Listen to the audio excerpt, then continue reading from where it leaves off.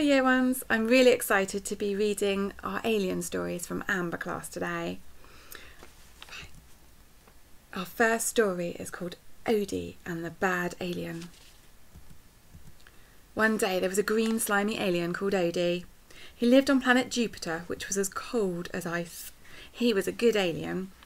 Odee was playing with his friends when suddenly a humongous red bad alien came shooting his slime gun at Odee. Bang! Smash! Luckily, Odee's friend Sherry takes the slime gun off the baddie and takes him on a spaceship to jail. Odee and his friends were happy. The end. What a fantastic story. Our next story is about an alien called Char. Once upon a time, there was an alien called Char, and he lived on Jupiter. Jupiter has the hottest volcano going over the years. The volcano is so hot, it is full of burning lava. It is so noisy, it splatters all over the place. Suddenly, Char sees a giant red rocket flying above his head. It's about to hit a shooting star. Zoom, crash.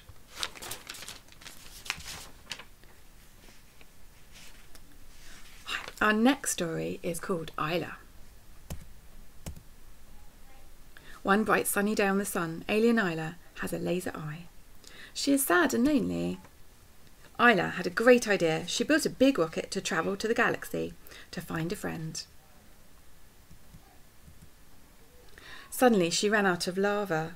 She ran out of lava oil and then she crashed into Earth. Oh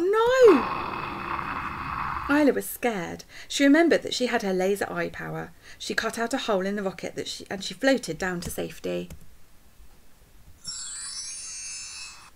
She met nice people and she wasn't lonely anymore. And now she has friends. And our next story is called Bhusha's Scary Journey. A long, long time ago, it was a sunny morning on planet Mars. Bhusha was inside his spaceship. Crash! Bang! Suddenly her spaceship fell and crashed into planet Earth. Luckily, some kind people helped Bhusha and she got back home. She was very happy and she had a party with her friends. And our last story today is called Violet's Adventure. Once upon a time, it was a lovely day, so Violet decided to visit planet Earth. All of a sudden, there was a very loud crash which made Violet scared. Violet was enjoying her walk and was going to cross the road. As she went to go across, she saw a car being driven quite fast towards her. because of her magic powers, she was able to jump out of the way. The next day, Violet decided to go home. She used her magic powers once more and arrived home in time for tea. As it had been a very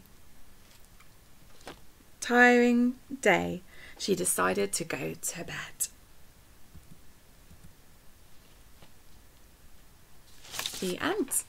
We loved all your stories, Amber class, and thank you so much for sending them to Mrs. O'Callaghan and I. We hope you enjoyed our story time today. Bye.